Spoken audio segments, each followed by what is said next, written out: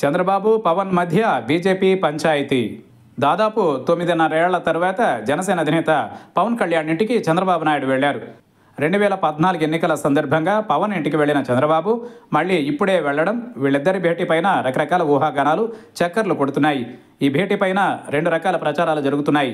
ఇందులో ఒకటి పవన్కు అనుకూలంగా ఉంటే రెండవది చంద్రబాబు కోణం నుంచి జరుగుతోంది. ఇంతకీ విషయం ఏంటంటే చంద్రబాబు వైఖరిపైన పవన్ అలిగినట్లు జనసేన వర్గాలు చెబుతున్నాయి.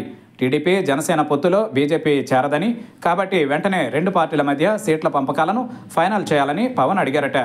జనసేన పోటీ చేయబోయే సీట్ల సంఖ్య నియోజకవర్గాలపై క్లారిటీ ఇవ్వాలని పవన్ ఎన్నిసార్లు అడిగినా చంద్రబాబు మాత్రం దాట వేస్తున్నారట కారణం ఏంటంటే బీజేపీ లేకుండా ఎన్నికలకు వెళితే చాలా ఇబ్బందులు ఎదురవుతాయని చంద్రబాబు చెబుతున్నారట. జగన్మోహన్ రెడ్డిని కంట్రోల్ చేయాలంటే బీజేపీ కూడా పొత్తులో ఉండాల్సిందే అని చెప్పారట. అందుకనే సీట్లపై పవన్ ఎంత ఒత్తిడి పెడుతున్నా చంద్రబాబు ఏ సంగతి తేల్చడం లేదని జనసేన వర్గాలు చెబుతున్నాయి. దాంతో చంద్రబాబు వైఖరిపై అలిగిన పవన్ ఇరవైవ తేదీన లోకేష్ యువగళం పాదయాత్ర ముగింపు బహిరంగ సభకు హాజరు కావడం లేదని చెప్పేశారట. మొదటికే మోసం వచ్చేటట్లుందని గ్రహించిన చంద్రబాబు అర్జెంటుగా పవన్ ఇంటికి వెళ్ళారట సంక్రాంతి పండుగకు సీట్ల సంఖ్య నియోజకవర్గాలు మేనిఫెస్టో అన్నింటినీ ఫైనల్ చేసుకుందామని చెప్పినట్లు సమాచారం.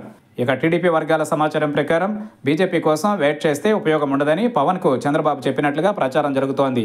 బీజేపీని వదిలేసి రెండు పార్టీలు ఎన్నికలకు వెళదామని చంద్రబాబు చేసిన ప్రతిపాదనకు పవన్ బ్రేకులు వేస్తున్నారట.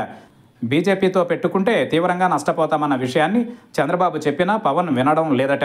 సర్వేల్లో బయటపడుతున్న వివరాలను పవన్కు వివరించారట. బీజేపీ లేకుండా ఎన్నికలకు వెళితే కష్టాలు తప్పవని చంద్రబాబుకు పవన్ చెప్పారని ప్రచారం జరుగుతోంది. బీజేపీని వదిలించుకుని వస్తే సీట్ల పంపకాలను ఫైనల్ చేసుకుందామని చంద్రబాబు తెగేసి చెప్పినట్లుగా టీడీపీ వర్గాలు ప్రచారం చేస్తున్నాయి.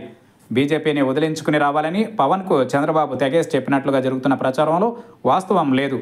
ఎందుకంటే చాలా కాలంగా బీజేపీతో పవన్ అంటి ముట్టనట్లుగానే ఉన్నారు. బీజేపీని పవన్ అసలు పట్టించుకోవడమే లేదు. ఎన్డీఏలో భాగస్వామిగా ఉంటూనే చంద్రబాబుతో పొత్తు ప్రకటించినప్పుడే పవన్ బీజేపీని పట్టించుకోవడం లేదన్న విషయం స్పష్టమైంది. కాబట్టి టీడీపీ ప్రచారం అంత నమ్మేటట్లుగా లేదు.